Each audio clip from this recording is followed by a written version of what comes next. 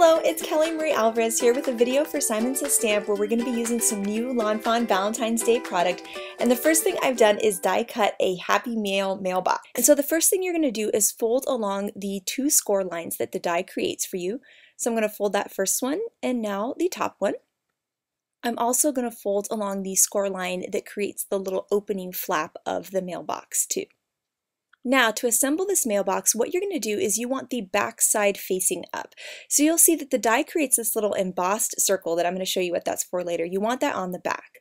Then you're going to fold up the bottom and fold down the top, flip it over, and you have your cute little mailbox with that opening and closing flap to it.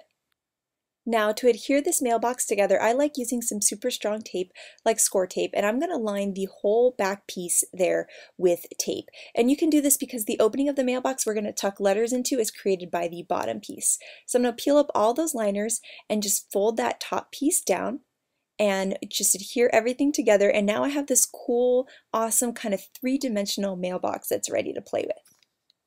Now the die creates a little embossed circle right there, and that's a guide as to where to put the flag for the mailbox. So you'll see we'll take the little mailbox and it's going to line right on top of that embossed circle.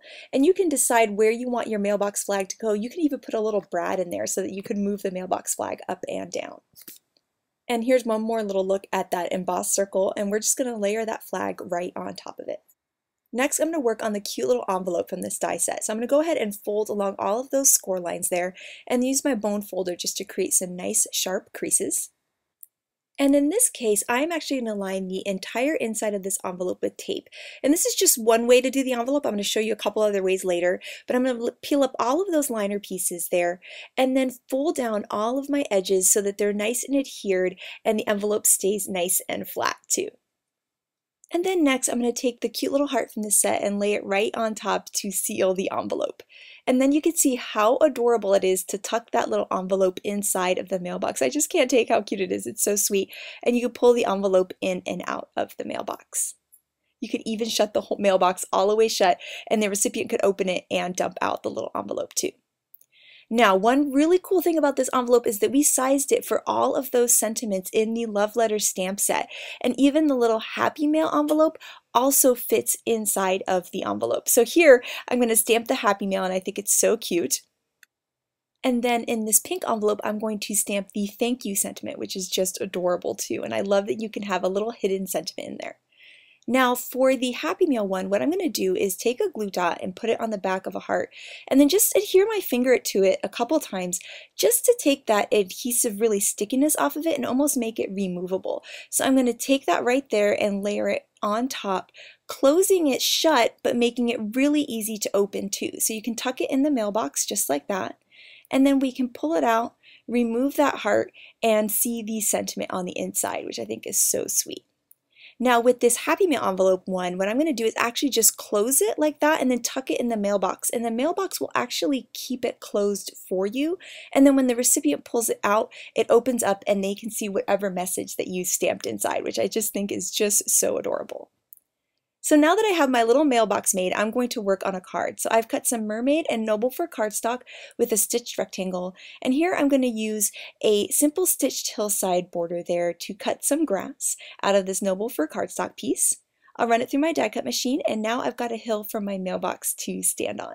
So I'm going to layer that right on top of my mermaid sky. And then I can go ahead and stamp my sentiment, which is going to be a little message to say I love you that comes from the Love Letters stamp set. And I'm going to use one of our Everyday Sentiment banner dies to cut that out. Then I can go ahead and add a bunch of foam tape to that and layer that onto the card. Next, I'm going to take some birds from the Love Letter stamp set and start adhering them to my mailbox. I've also die cut a little pink heart from the Happy Mail die set and layered that onto that mailbox. I thought it was really cute. And then here I have a die cut Happy Mail envelope also from Love Letters. So the Love Letters and Happy Mail go together perfectly. I'm going to tuck that into the mailbox and then add a cute little yellow bird. And so I'm going to add double foam tape to my bird and then single foam tape to the post of the mailbox. Because when you form that mailbox, it actually has kind of a three-dimensional look to it, which kind of equals the height of a foam dot. And then I'm going to use double foam dots on my little yellow bird there too. Now I'm going to trim down a card base, which is going to be four by five and a quarter. And I'll also trim down some Let's Polka in the Meadow striped paper for the background of this card. The stripes kind of remind me of this airmail kind of thing, which really goes along with our mail theme. So I think it's going to be a really cute background for this Valentine's Day card.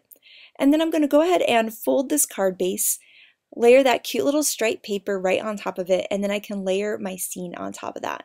And I love how well Happy Mail works with love letters, and it could work with so many other stamp sets too. You could have so many cute critters mailing Valentines to people. I just think it's so sweet, and I love the interactive element where you could pull the little envelope in and out of that mailbox. So I cannot wait to see what you guys do with this awesome die set. So thank you so much for watching today, and I hope you have an absolutely amazing day. Bye!